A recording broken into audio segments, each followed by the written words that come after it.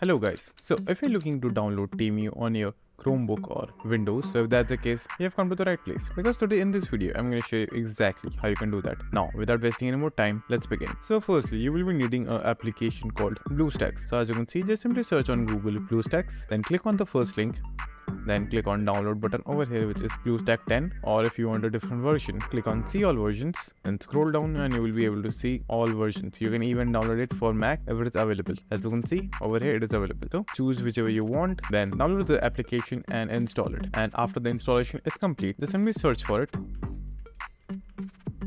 And then after searching the application just simply open it